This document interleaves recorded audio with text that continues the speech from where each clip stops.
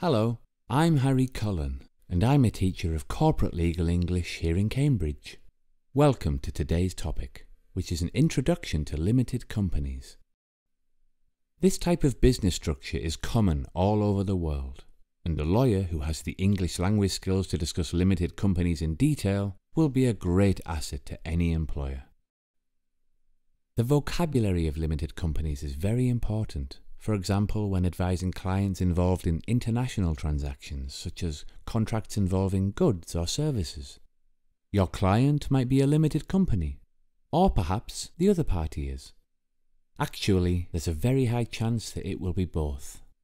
And although doing business with a limited company has many advantages, it also carries with it some potential risks.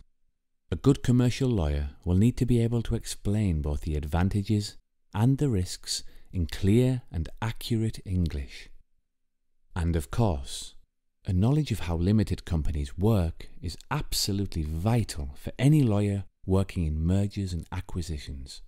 For example, could you explain to an English speaking client the potential difficulties of buying or merging with a limited company in your own country? The purpose of this study module is to introduce you to some of the legal concepts and vocabulary that you'll need to be able to carry out this kind of work with accuracy and confidence.